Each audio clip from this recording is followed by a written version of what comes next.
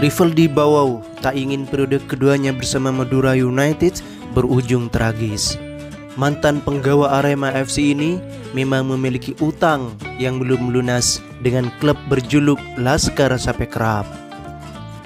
Pada musim 2020, penyerang yang kini berusia 28 tahun itu sempat memperkuat Madura United FC. Sayangnya, ia belum sempat mendapatkan kesempatan tampil saat pandemi COVID-19 tiba-tiba melanda Indonesia. Saat kompetisi kembali dilanjutkan, kontraknya bersama klub asal Pulau Garam itu telah usai.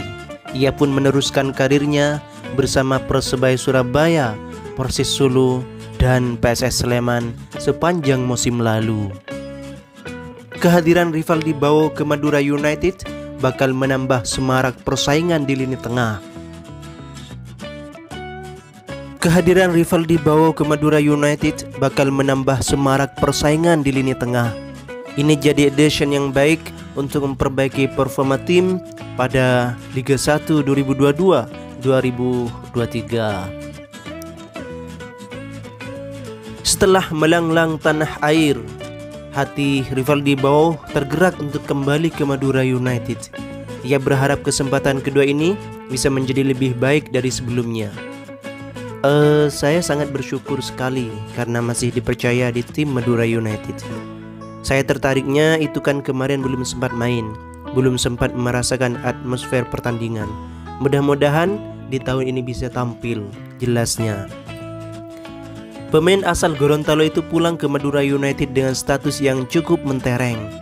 Ia merupakan bagian bersejarah klub Persis Solo yang meraih tiket promosi ke kasta tertinggi dengan status juara Liga 2 2021. Rivaldi pun tak hanya sekedar menumpang nama dalam keberhasilan Persis Solo, ia menjadi salah satu sosok integral dalam perjalanan klub berjuluk Laskar Sambernyawa tersebut dengan sumbangsih 4 gol.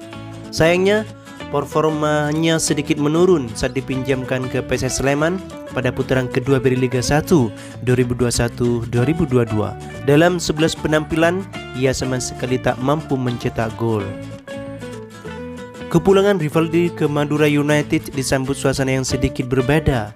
Sekitar 20 pemain yang membersamainya di musim 2020 sudah tak lagi bermain untuk Madura United musim ini.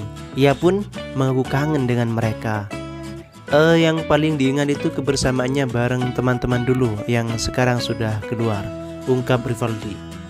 Madura United FC memang melakukan perombakan besar-besaran menyambut Liga 1 musim depan. Di bawah tangan dingin pelatih Fabio Fundes, klub yang baru berdiri sejak 2016 itu tengah menyongsong era baru.